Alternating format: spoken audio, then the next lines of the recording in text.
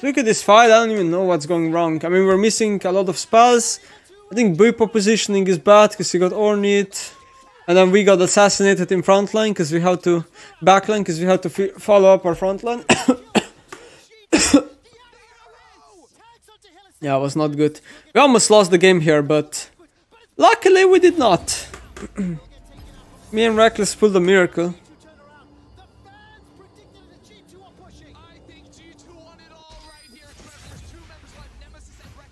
Huge LeBlanc, yeah. LeBlanc with Morello killing us. Sold my uh, boots for Maw. Fuck it.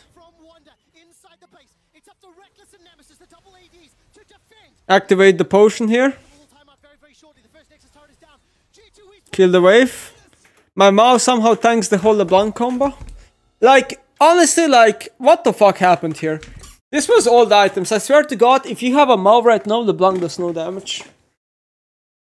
The LeBlanc actually did damage in late game here. Crazy world we live in.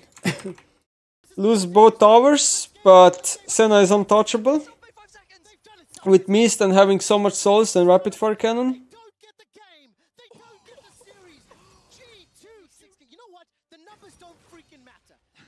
And here I was kind of feeling like they're gonna back there, so I was just sitting in the bush waiting for LeBlanc.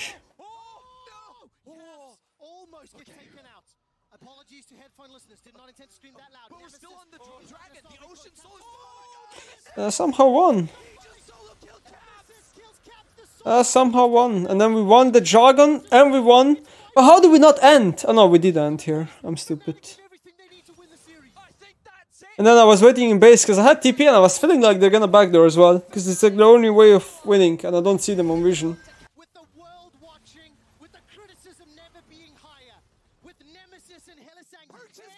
And here I rebuy boots so I'm full build again.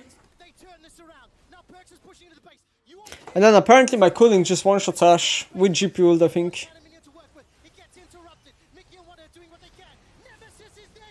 Look at that, what the fuck.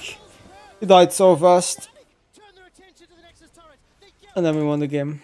Crazy.